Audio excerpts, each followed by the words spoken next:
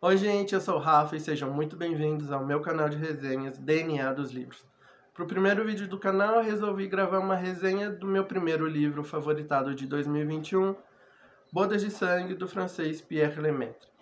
Vou deixar aqui uma ressalva, que é a segunda vez que esse livro é publicado no Brasil. Na primeira vez ele foi publicado com o nome de Vestido de Noivo. Eu vou deixar aqui a fotinho da capa desse livro. Se por acaso você for pesquisar em sebo virtual ou sebo físico, tente procurar também pelo nome de Vestido de Noivo, que é a mesma história de Bodas de Sangue.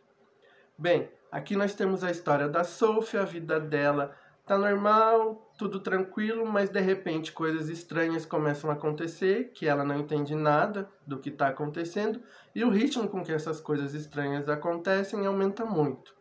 De repente ela se vê envolvida em várias mortes, só que ela não se lembra de nada em relação a essas mortes. Ela não se lembra como essas pessoas morreram, ela não se lembra o que aconteceu. Só que tudo indica, tudo aponta para que a responsável por essas mortes seja a Sophie. Então, no desespero, ela resolve fugir. Ela arma um plano de fuga e decide mudar tudo. Mudar de cidade, mudar de nome, mudar de vida, porque ela está desesperada com tudo que está acontecendo. Eu não acho que eu deva contar mais sobre a história para vocês, porque eu acho que eu vou estragar a experiência de vocês com esse livro se eu contar mais alguma coisinha sobre a história, diretamente. Esse livro é um dos livros mais originais, empolgantes e emocionantes que eu já li. O que eu posso contar é que ele é dividido em quatro partes. Na primeira parte, a gente vai entender tudo o que está acontecendo com a Sophie, tudo que ela está passando na vida dela, sobre as mortes, o plano de fuga dela. Eu já gostei logo de cara dessa primeira parte, mas eu ouvi gente em resenhas e que me contaram que não gostaram muito dessa primeira parte. Eles acharam essa parte meio chata, meio confusa, não entendiam nada, porque realmente essa, é, nessa parte a gente só vê a Sophie contando tudo o que está acontecendo com ela, a gente não sabe aonde isso vai chegar, mas o que eu posso dizer é que não desanime se você sentir isso também, porque essa primeira parte ela é muito importante, ela é a base da história e que tudo o que você quer saber é, vai ser contado depois. A gente já começa a entender tudo logo na segunda parte. Nas duas primeiras páginas já tem uma reviravolta fantástica. Eu já fiquei assim, meu Deus, é isso mesmo que eu tô lendo? É isso?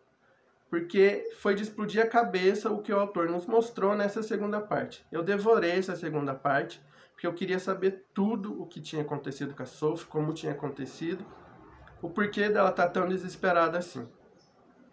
E ele aumenta ainda mais a qualidade da história quando ele cruza o final da primeira parte lá da Sophie contando tudo o que está acontecendo com ela com o final da segunda parte em que a gente entende o que está acontecendo com ela.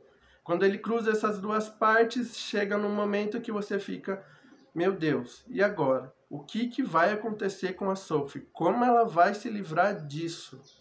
E é o que a terceira e a quarta partes nos contam, e tudo ainda fica melhor, porque o nível de tensão aumenta, o nível de suspense aumenta, cenas de ação de tirar o fôlego tem aqui, muita coisa boa vai acontecendo, ele vai explicando tudo o que você queria saber, ele vai fechando todas as pontas abertas, cada vez que ele fecha uma ponta aberta é uma reviravolta que te deixa de queixo caído, tudo vai ficando muito bom, muito bom, até que vem o final.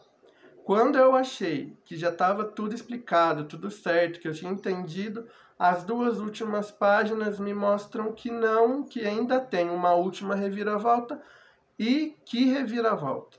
Eu juro que eu fiquei sem saber se eu fiquei feliz com essa reviravolta, eu fiquei com dó do que aconteceu, porque foi sensacional. Vale aqui a ressalva também da última linha. A última linha do livro, ele para mim resumiu o que é o livro, ele conta a história do livro. Então, por favor, não leia a última linha antes da hora que vai estragar a tua leitura de Bodas de Sangue. Para mim, esse livro tem dois pontos altos. O primeiro é a escrita do autor, que é uma escrita muito inteligente, muito direta, muito simples.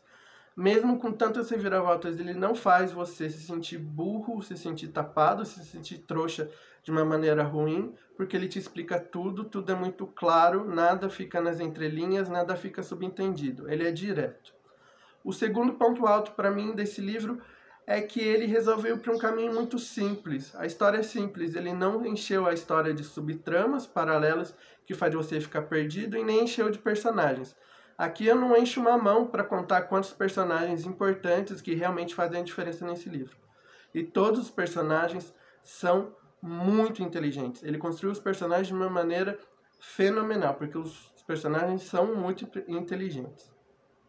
Bodas de Sangue se tornou para mim um dos livros favoritos da vida. Eu senti muitas emoções lendo esse livro. Eu senti raiva, eu senti ódio, eu senti alegria.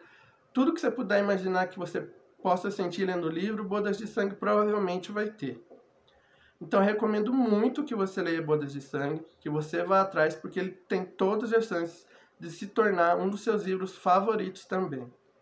Eu queria muito agradecer duas pessoas, agradecer a Elaine e agradecer a Patrícia, com quem eu dividi a leitura de Bodas de Sangue. Nosso debate foi muito bom. A gente chegou às mesmas conclusões de que o livro realmente é perfeito, esse livro é maravilhoso.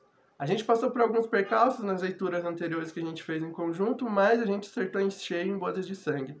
Paty e Elaine, espero muito que a gente acerte nas próximas também. E gostaria muito de te agradecer por ter assistido o vídeo até agora. Muito obrigado, muito obrigado mesmo. Isso me deixa muito satisfeito. Então eu vou pedir para você, por favor, deixa seu like, deixa seus comentários, fala para mim o que você gostou, o que você não gostou. Se inscreve no canal, ativa o sininho, porque eu vou tentar trazer toda semana bastante resenha para vocês. Me segue no Instagram, me segue no Scoob. Eu vou deixar aqui os links do Instagram e no Scooby. No Instagram tem muita resenha escrita que eu deixo dos livros que eu já li. O de Bodas de Sangue deve entrar hoje ainda também. Então, muito, muito obrigado mesmo por ter assistido até o final. Valeu demais. Obrigado. Tchau.